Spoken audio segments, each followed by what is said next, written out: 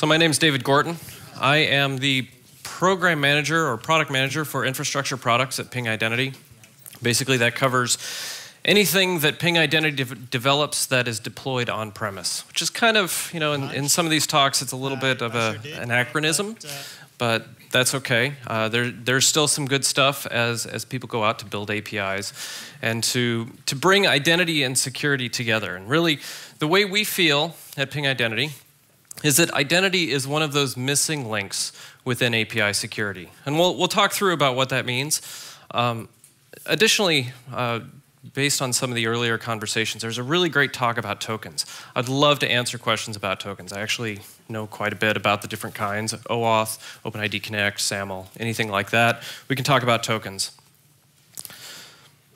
What our agenda looks like today is we'll talk about what I see are the four elements of API security that will really benefit from having identity integrated into them. And then, of course, we'll go through and talk about what API security with identity looks like and, and using modern identity standards. And then, of course, we'll talk about what those modern identity standards are. And last, we'll draw some conclusions. So first, let's take a look at the four elements of API security. Um, you know, typically in an API uh, interaction, you have some sort of a client, and that client is, of course, calling an API. The first thing that you would need to do is handle authentication, which, as we heard earlier, is really about establishing and confirming the identity of a user as well as a device, or as well as an API client. The second piece that comes in is around authorization. So basically taking the information, taking that identity information that you've, you've gleaned from the authentication and making a decision as to whether or not that client and that user can access the information that they're requesting, whether or not that's an API uh, or even, well, yeah, mostly focused on APIs, uh, to be able to go in and determine um, almost down to the resource level whether or not those clients and those users can interact with that information. Then we look at the next piece, and this is around throttling. Um, and to me, this is one of the critical pieces to API security that really should be focused down to identity. Being able to control how much information, how many requests per second, how much uh, data transfer a specific user and a specific client can pull down within a session. And last is auditing. Um, really being able to look across all of the di different interactions that an API client is, is uh, executing across a, a, number of services, across a number of APIs, being able to pull that together to create a picture and be, be able to create an audit log of what that uh, user and that client is doing. Really so that you can demonstrate compliance to any sort of uh, regulations that you have to work with or work within. So we'll start with authentication, and, and this is really where we start to see how identity can, can extend security um, beyond what you usually see. And really, we start off with basic, which is a client ID and a secret. This is typically for uh, the API client itself. They're usually issued to the developer. The developer um, uses those when uh, developing their application that's going to interact with APIs. And then you have a username and a password. And this usually comes from the person actually using the API and uh, using uh, or yeah, using the API client to interact with the API itself. Now, the thing that we're most familiar with are uh, native mobile applications. And, and, typically within a native mobile application, uh, that application will collect your username and password. It will send that information along with its client ID and its secret uh, off to some place, and that will be authenticated, and that user will be determined. That's great, but, but it's really just kind of table stakes. It's what gets you started for securing your API. If we start to introduce really identity awareness into that process, we can now start to actually leverage external identities, or identities that would be stored at, say, Google or at Facebook, or some other identity provider or social identity provider that can be used to authenticate the user, provide identity information back to the client, and then, of course, use that to interact with the API. The other nice thing is you can start to pull in identity attributes. So it's more than just a username and a password. It's more than just an email address. You can now start to bring in information related to maybe where the person lives, or if you're in a company, what group that they live in or work in. And then you can start to, you can do some really interesting things down the line uh, once you start to bring this in.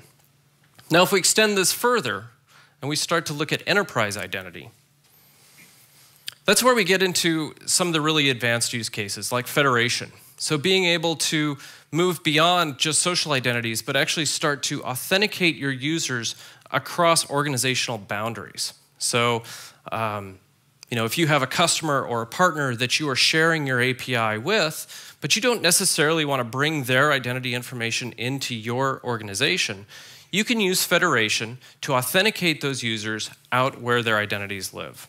So that's a great, it's, it's a great way to reduce uh, your security exposure as well as to reduce the propagation of identities that typically go along uh, with connecting these systems together. You can start to introduce things like multi-factor authentication. You can get uh, robust authentication scenarios beyond just a username and password to provide additional security and provide the additional ability to determine who your users actually are and to make sure that they are who they are.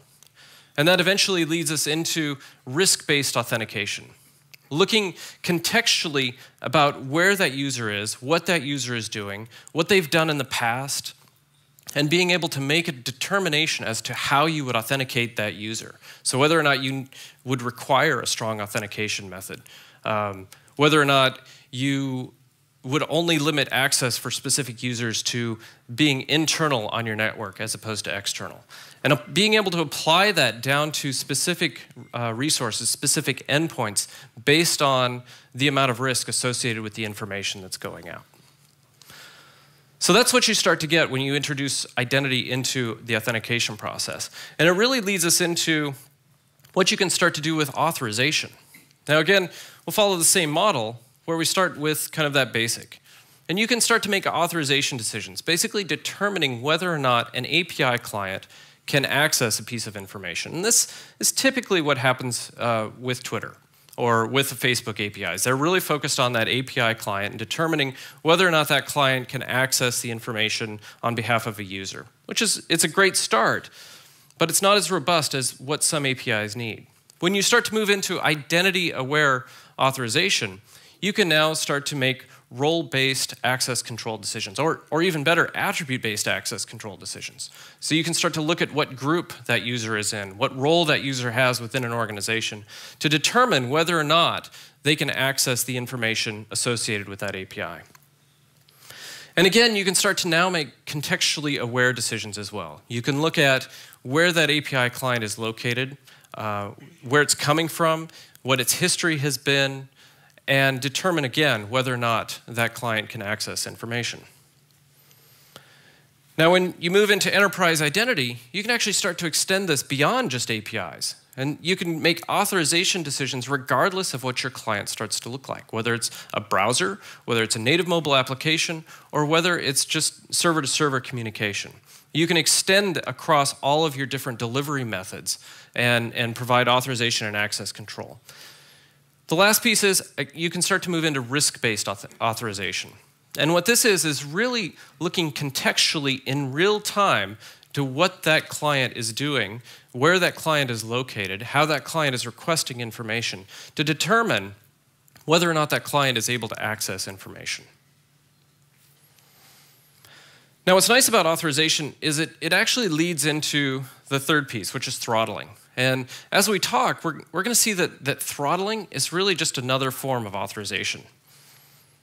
Of course, you start off with being able to throttle at the API client level, determining whether or not a specific client can make, or a specific set of clients can make a number of requests per hour or amount of data in a certain amount of time, which is, it's a good start. But when you start to move to identity aware, again, you can start to apply these controls, the same controls that you saw in authorization, now you can start to apply them to throttling as well. You can make decisions as to whether certain roles or certain groups can access certain amounts of data, or whether or not they can make certain numbers of requests per hour. You can do that also based on attributes, and you can also look at it contextually. So all of this information can be used to determine how much, in, how much uh, how many requests, how much information those API clients can start to pull down. And then, of course, as we extend this into enterprise identity, You can start to do, again, that risk-based analysis to determine if, if a client suddenly moves from, um, say, Europe over to China, you're going to know that you're going to need to throttle uh, and restrict the amount of information that that client in China can pull down because something bad has just happened. Somebody has, in some way, taken the session, moved it to some place where they can start to pull information where they probably shouldn't.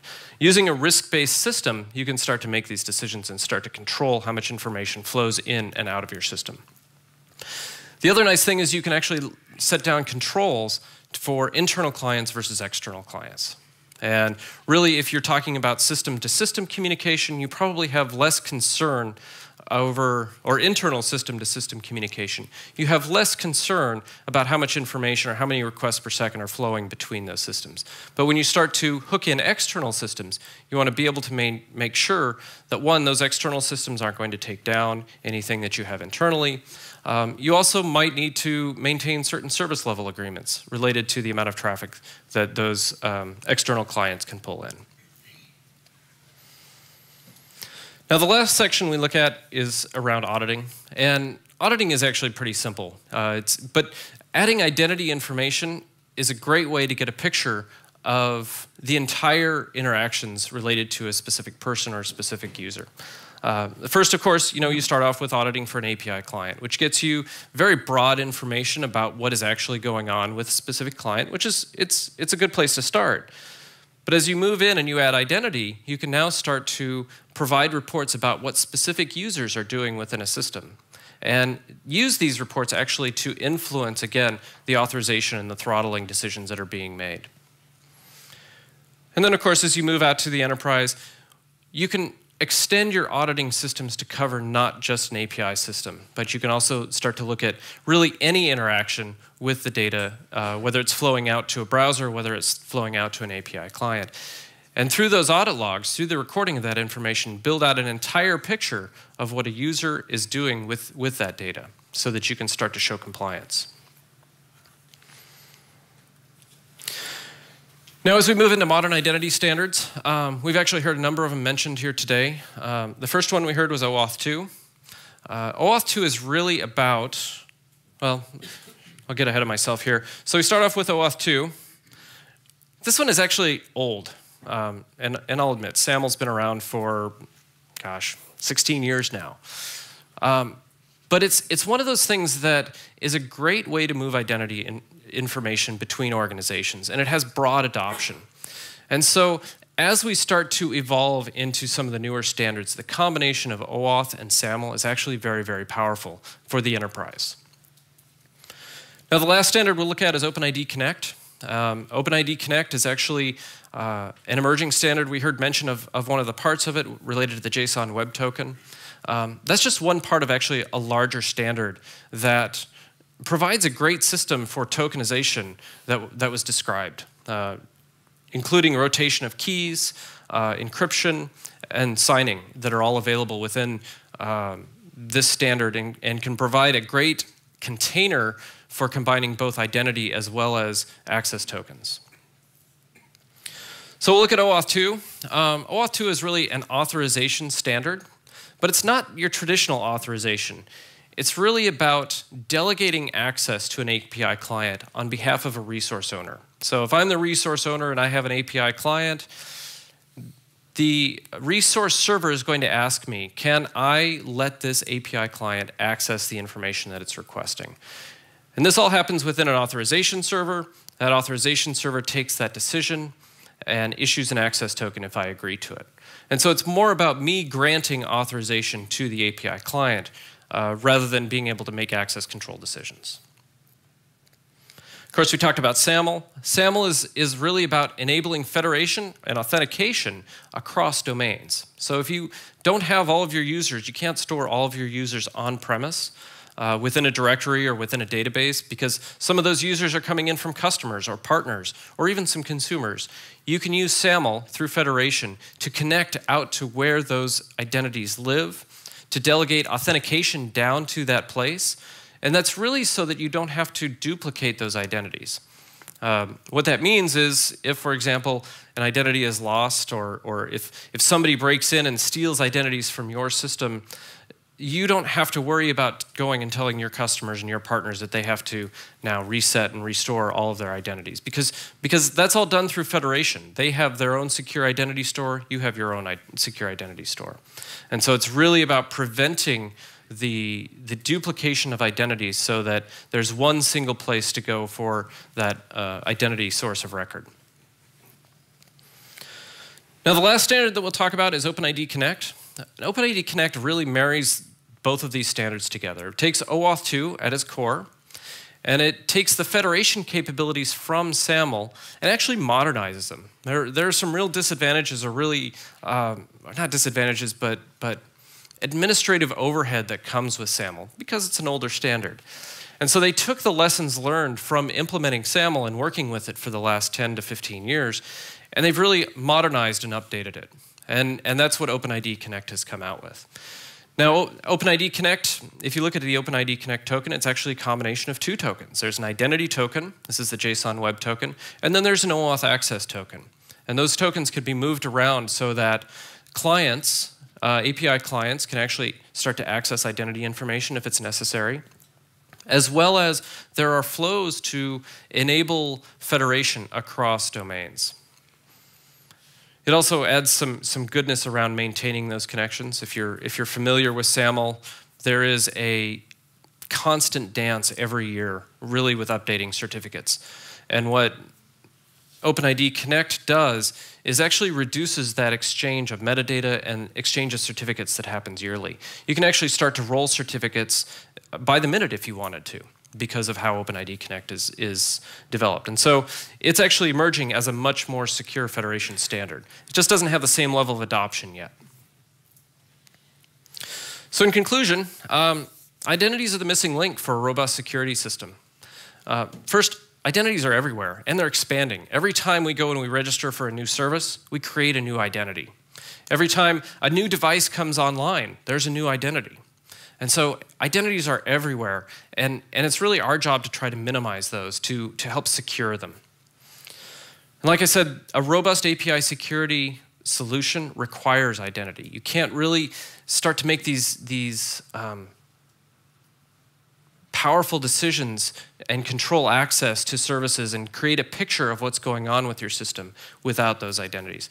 And ultimately, you can't do this without standards. Um, going and trying to implement um, your own identity containers and, and secure those and move them around, it actually causes a couple things. First, it's an integration nightmare because if you are talking about sharing tokens with another organization, you have to share how you've written those tokens with them so that they can start to consume them.